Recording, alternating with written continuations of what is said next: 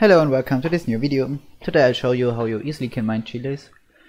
Therefore, we first of all need a wallet. If you have one on Binance or wherever, you can just take that one. If you don't, I would recommend you using the Exodus wallet because it's really easy to set up. So just click on the first link in the description and then you can download the Exodus wallet here and then install it and open it I have to log in quickly. You don't at the first time. So and there we are. Now we're gonna click on wallet here on top and search for Chiliz there we go. We press receive. Yeah we understand that this Chiliz address is on the ethereum network. Okay. And then copy this link here. And we just save the address for now because we need it later but now we're gonna download the mining program itself. I just uploaded you it in a folder so you can just click on the link and download it here. There we go. And now we click here. Now extract all. Extract. And now downloads. There's the extracted folder and the, here's a Phoenix miner. That's the application but we can just leave it here. We don't have to change anything about that. And here we have the code so we just right click here edit. More info run anyway.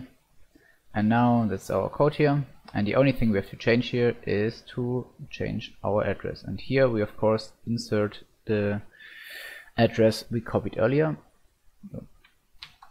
Copy and insert. There we go. File save as. All files save. And there we go. Now we're basically done. We can already start mining. We just have to double click on start.bat and you see uh, allow access. And you see the whole mining program is starting.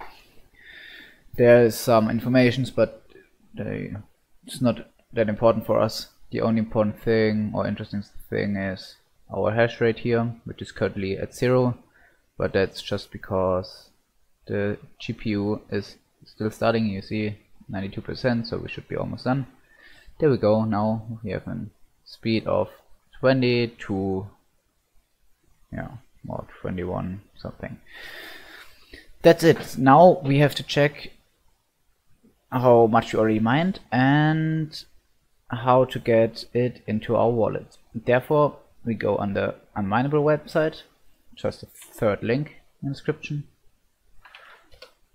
And now here first of all we can check what's our profitability. So therefore we can enter our hash rate here.